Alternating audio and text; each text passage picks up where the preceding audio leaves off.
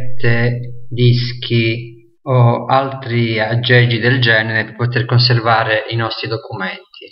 Attraverso Google Drive noi abbiamo un disco virtuale, quindi un disco che si appoggia ai, sui server di Google dove vengono automaticamente salvati tutti i documenti creati con i vari programmi della suite di Google. Quindi con Google Documenti, presentazioni, fogli, moduli, classroom tutto finisce in Drive, in questo disco virtuale. In, que in questi documenti possono essere accessibili eh, quindi anche, con, con i, anche tutti i programmi via internet da un qualsiasi device, quindi da un qualsiasi tablet, computer, cellulari. Eh, basta avere il nostro account di Google, che può essere l'account privato o quello di scuola di G Suite. Con l'account privato abbiamo a disposizione 15 GB di spazio. Con l'account di G Suite, quello scolastico, addirittura lo spazio è illimitato. Quindi Vediamo come funziona brevemente Google Drive, in realtà l'utilizzo è molto semplice.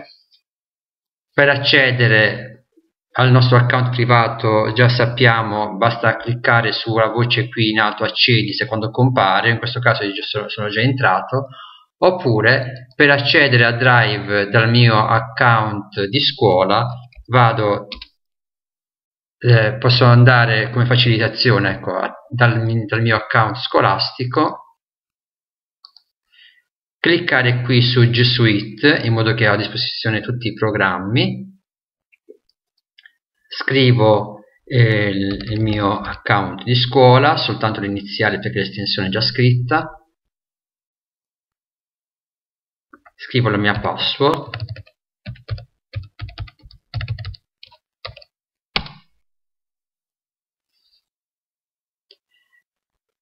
Per entrare dentro Drive basta cliccare sempre su, qua, su questo quadratino formato da nove puntini e qui ho l'icona Drive, questo triangolino colorato.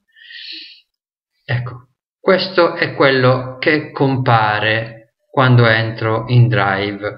In pratica vengono fuori tutti i documenti che ho creato, ripeto, con i vari programmi. Questi documenti, in alto quelli più recenti, sotto ho tutti gli altri, vedete secondo l'icona questo, sono, questo è un documento di, di Google Documenti, questo è presentazioni e così via. Quindi per entrare in un documento già creato basta cliccare col tasto di destra del mouse e faccio apri con, in questo caso, documenti Google, in modo che posso già entrare in variazione del documento. In più posso anche organizzare i miei documenti in cartelle, Basta cliccare in un punto vuoto, tasto destro, clicco su, scrivo, clicco su nuova cartella, do il nome alla mia cartella,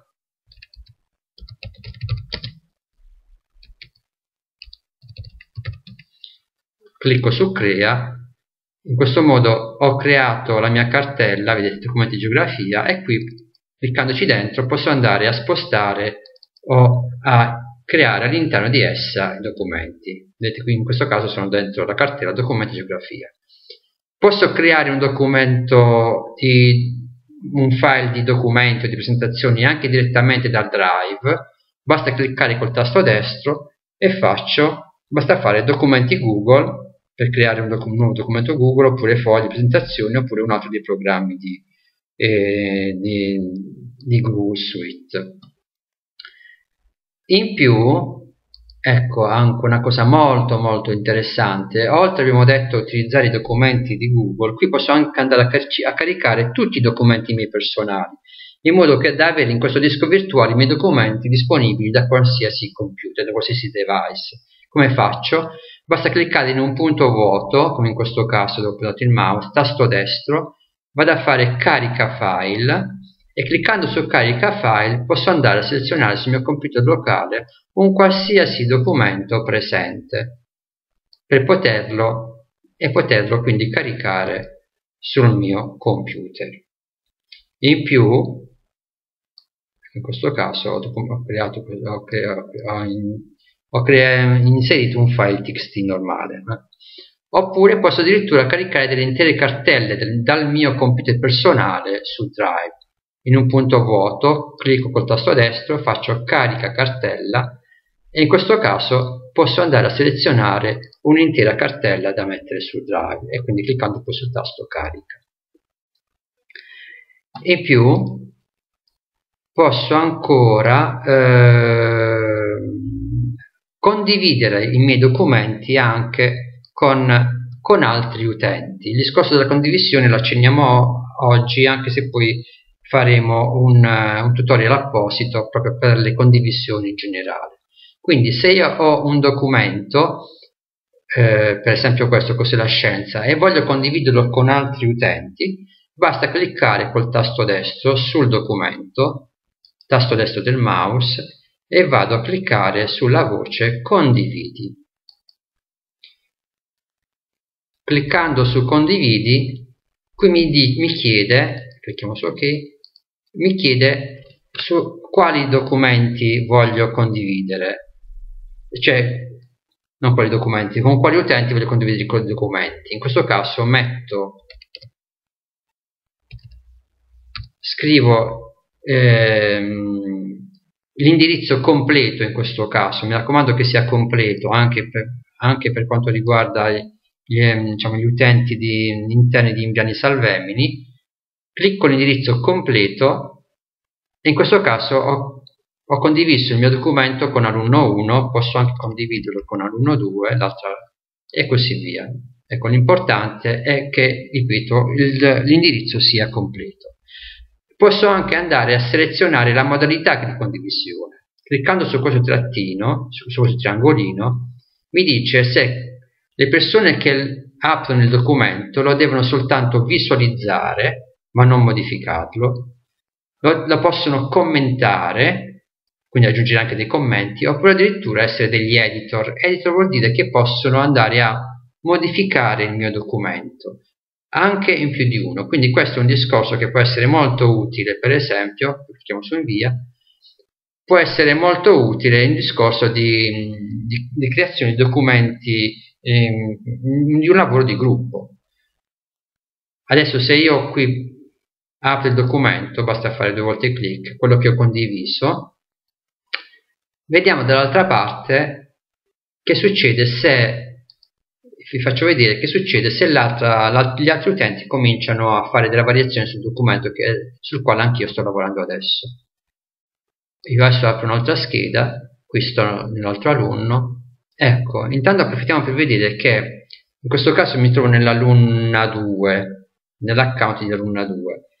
Questi sono i suoi documenti personali che vediamo in alto Qui a, si a, sinistra, oltre al mio drive, abbiamo anche i documenti condivisi con me. Se clicco condivisi con me, mostra i documenti che altri utenti hanno condiviso con me. Quindi in questo caso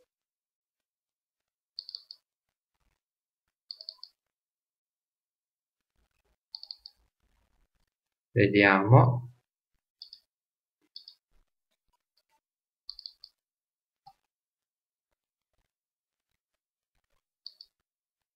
dovrebbe comparire il documento cos'è la scienza non compare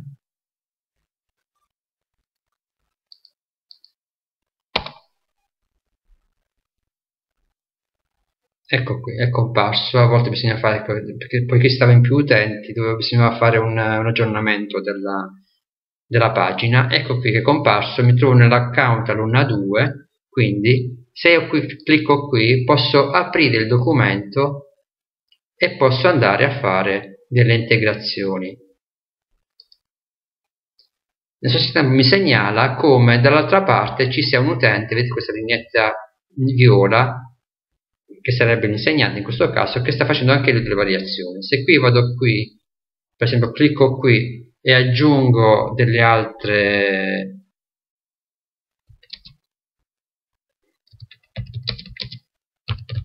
ecco, ho aggiunto un'altra frase, andiamo a vedere che succede sull'utente eh, insegnante, ecco, mi segnala che, se mi fermo qui un attimo, mi segnala che la Luna 2 ha aggiunto la frase, in questo caso, e cade a terra.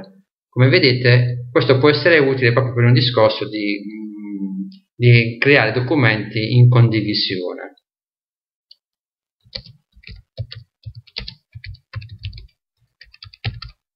Io come insegnante ho aggiunto un'altra frase vediamo che succede nel documento dell'alunna ecco mi dice che proprio anche io da quell'altra parte sto lavorando quindi è molto molto interessante per un discorso di ehm, didattica collaborativa di un discorso di lavori di gruppo quindi posso, posso creare dei documenti e renderli condivisi a due o tre alunni che possono lavorare contemporaneamente sul documento.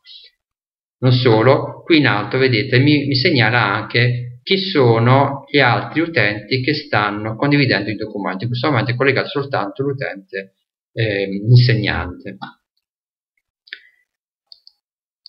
Quindi eh, oltre al discorso quindi del mio drive, di, la parte di, dei documenti che condivisi con altre, che condivisa con me da altre, da altre persone, poi abbiamo anche il cestino che come gli altri cestini che conosciamo già sui computer permettono proprio di poter recuperare eventualmente eh, dei documenti eh, erroneamente cancellati. Per cancellare un documento, tasto destro del mouse sul documento vado a fare qui il tasto rimuovi ecco dimenticavo un'ultima cosa i documenti che ho su Drive posso anche scaricarli sul mio computer in locale come faccio? Tasto destro del mouse sul documento da scaricare vado qui sul tasto scarica e in questo modo ha scaricato, vedete qui sotto, il documento sul mio computer in locale.